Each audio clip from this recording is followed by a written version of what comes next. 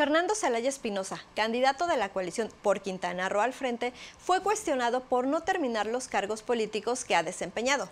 así como su falta de honestidad por haber sido destituido del cargo cuando se desempeñó en el Instituto Nacional de Migración cuando 14 cubanos se fugaron y que algunos vigilantes dejaron saber que había contubernio además de los cuestionamientos en su paso por la Procuraduría Agraria, sobre todo por el accidente que protagonizó al arrollar con un vehículo oficial y dejar en el abandono a un anciano que se trasladaba en bicicleta ante los ojos de decenas de testigos y sin brindarle la atención y dejarlo morir. Fernando Zelaya nunca fue detenido gracias a que se amparó, a pesar de que corrieron rumores de que se dio a la fuga porque había estado alcoholizado lo que convertiría en un homicida culposo, no imprudencial como quiso catalogarlo.